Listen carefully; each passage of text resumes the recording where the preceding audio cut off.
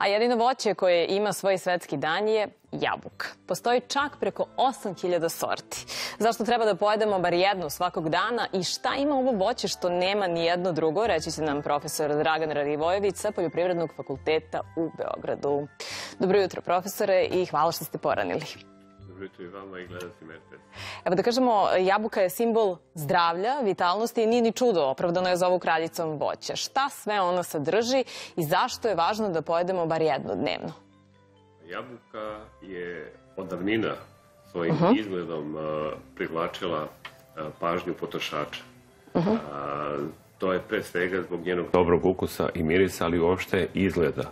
Veoma je korisna za ljudski organizam, sadrži brojne jedinjenja koje su neophodna a, kao a, nutritivna jedinjenja ili energetska, ali kad su u pitanju energetska jedinjenja, ona ne sadrži ovaj, veliku količinu kalorija i zbog toga je sastavni deo mnogih e, dijeta koje se drže.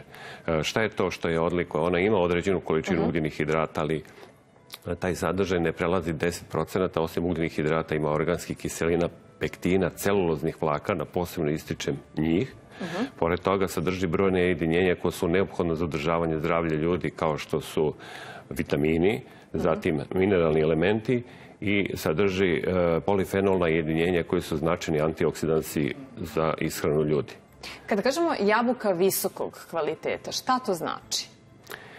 Pa znate kako, e, današnji kupci traže e, da kažem, idealnu jabuku kao ovu jabuku koju vi imate na, na stolu. Ona mora da bude odgovarajuće kvaliteta, mora da bude odgovarajućeg izgleda, da bude privlačna, e, jer oko kupca je nešto što određuje e, kao prvi element da li će taj potrošač da kupi jabuku ili neće. Ona mora da bude tipično sortnog izgleda, mora da bude odgovarajuće veličine, ne sme da bude previše krupna, ali ne sme da bude ni previše sitna, ne sme ni slučajno da ima na sebi bilo kakva oštećenja, jer joj to ovaj, smanjuje mogućnost da bude realizovana kao sveže voće, Uh, ne sme da ima povećan sadržaj pesticida. Mi to ne možemo da znamo, ali o tome se stara država svojom regulativom i ne dozvoljava da se plodovi sa većom količinom pesticida nađu u prometu. Tako da postoje brojni elementi koji na to utiču.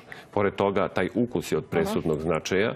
Mora da bude odgovarajuća konzistencija, čvrstoće, mora da bude s jedne strane mekana, a sa druge strane da bude sočna i hrskava i onda se ovaj pravi taj balans, mora da bude ubrano u odgovarajućem stepenu zrelosti da bi se sve to postiglo. Mnogo je parametara. Koliko takvih jabuka Srbija godišnje proizvede? Srbija je danas veliki proizvođač e, jabuke. Proizvodnja je došla na nekih 500.000 tona godišnje i mi smo nekad važili za zemlju kao velikog proizvođača šljive. Međutim, danas proizvodnja jabuke nadmašuje ovu proizvodnju i po tome smo e, prepoznatljivi. E, Zašto je ovaj, jabuka dostigla to mesto na kome se danas nalazi? Pre svega zbog profitabilnosti koju donosi proizvođačima jabuke. A, Taj rast je ostvaren u zadnjih 15 godina. Intenzivni zasadi jabuke kakvi danas imamo, koji mogu da stanu rame uz rame sa evropskim zasadima jabuke, mi smo počeli da potižemo negde 2005 ili 2006, znači zadnjih 15 godina. Koji krajevi Srbije su najveći proizvođači i koje sorte su kod nas najzastupljenije? Pa možemo reći generalno da, da Srbije je područje pogodno ovaj, za gajanje jabuke, faktički na celom području je ona pogodna, osim nekih ma- e, e, lokaliteta sa manjom površinom koji nisu zgodni pre svega zbog e, pojave proličnih mrazeva. Svi ostali mogu da se uspešno koriste, ali ono što bih istakao jeste da su to područja koje imaju dovoljne količine vode za zalivanje. Danas gajiti e, jabuku, a da se ne obezbedi voda za njeno navodnjavanje, s obzirom da imamo izuzetno sušne mesece, juli, avgust, pa i septembar, ovaj, takva, takva područja ne treba koristiti. Tamo gdje imamo vode možemo je uspešno gajiti. To su pre svega područja oko uh, opštine Grocka, Smederevo, Topola, Zatim uh, u Vojvodini je to Subotica, područje oko Fruške gore, celo područje oko Fruške gore, pa i neka druga područja u Vojvodini zato što imaju dovoljne količine vode za zalivanje. Postoje zapravo letnje, jesenje i kasne sorte koje su uh, najpogodnije za skladištenje. Dakle, jabuka imamo tokom čitave godine. Koliko ih pojedemo na godišnjem nivou? E, Pa za nas je bitna ova poslednja kategorija, kako ste vi rekli, Kasne to su sorte, kasne aha. sorte, jer one mogu dugo da se čuvaju i praktično da, zahvaljujući danas e, tehnologiji, hlađenih skladišta omogući konzumiranje jabuke tokom, tokom čitave godine. Znači, one su za nas najznačajnije. I pitali ste koliko... Koliko, koliko na godišnjem nivou pojedemo jabuku u Srbiji? Otprilike u Srbiji je potrošnja nekdo od 14 do 15 kg po glavi stanovnika. Ako bismo ovo preveli u broj plodova, to bi bilo nekih 100 plodova godišnje ili otprilike jedan plod na svaka tri dana. A trebalo bi malo više da, da konzumiramo. Inače, ostatak ovaj, od te količine koju mi proizvedemo ili se izveze, izveze kao sveža jabuka ili se preradi najviše u sokove. Tu su crvene, žute, zelene, kisele, slatke. Šta je vaša preporuka kao da odemo na pijacu? Koje i kakve da biramo? Pa sve su podjednako dobre, a koje ćemo kupiti, to sve zavisi od navika i stava potrošača. Uglavnom, potrošači preferiraju određene sorte, uglavnom se odlučuju prema ukusu, a naravno i prema prema izgledu ovaj, kada su u pitanju navike potrošača za konzumiranjem jabuke, one se vrlo teško menjaju i kad se stvori neka nova sorta, jako teško dolazi do, do kupaca, jako teško oni menjaju svoju naviku i prelaze sa jedne sorte na drugu.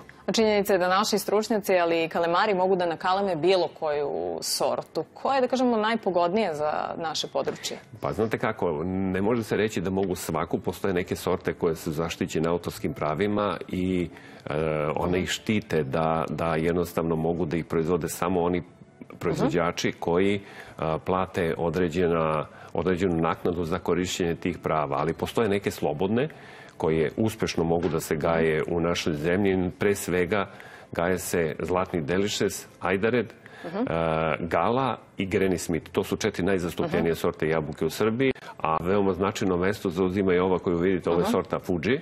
Fuji. pored nje sorta Breburn i, Fuji. i crveni delišes. Eto, to su prilike neki sedam sorti jabuke koje pružaju sigurnost proizvođačima da sa njima mogu da ostvare odgovarajući ekonomski interes. E sad ono što se svakako postavlja kao pitanje jeste koliko ih prskamo i kako? Pa to se ističe kao jedan, uh, jedna negativna osobina jabuke da zahteva veliki broj tretiranja tokom, tokom godine, ali to uopšte nije ovaj problem zato što uh, proizvođači vode uh, u velikoj meri računa o toj karenciji, odnosno najkraćem vremenskom periodu koji mora da protekne poslednjeg prskanja do berbe plodova, vodi se računa o kvalitetu tih preparata. Posebno treba istaći da najveći broj tretiranja se obavlja pre cvetanja i neposredno posle samog cvetanja u periodu kada plod postigne ovakvu veličinu skoro da se ne vrši tretiranje, tako da je bezbedan za upotrebu. Mogu li ipak neke sorte da opstanu i bez prskanja?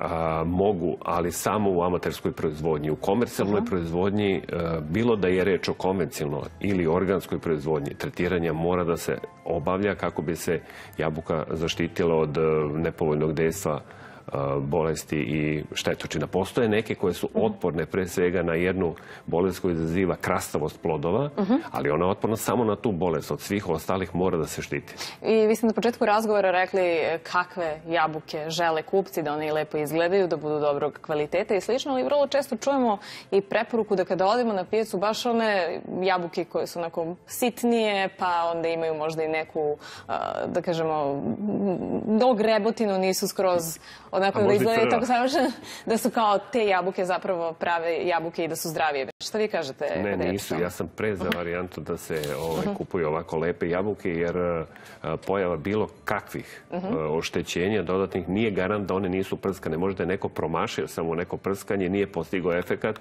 i onda ih prodaje kao pre svega jabuku koja nije prskana, ono u stvari jeste, ali samo nije pravovremeno prskanje obavljeno. Profesore, mnogo vam hvala na razgovoru i na svim ovim savjetima koje ste podelili sa nama. Hvala vam na pozivu. Gost jutrnjeg programa bio je profesor Dragan Radivojević sa Poljoprivrednog fakulteta u Beogradu.